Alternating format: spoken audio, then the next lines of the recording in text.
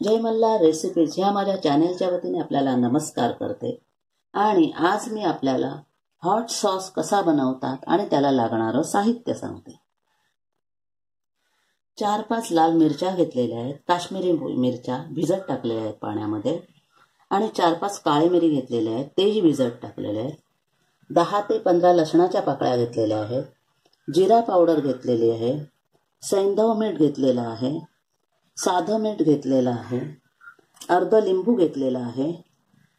साखर घेतलेली आहे आणि तूप घेतलेलं आहे. आता हे सर्व साहित्य मी एकत्र बारीक वाटून घेते. हॉट सॉस तयार झालेला आहे करून. हा आपण पिझ्झासाठी सँडविचसाठी शॉर्मासाठी वापरू शकता. आपणही एकदा हा करून पहावा. आणि माझ्या जयमल्ला रेसिपीज या चॅनेलला लाईक करावं शेअर करावं सबस्क्राईब करावं. धन्यवाद.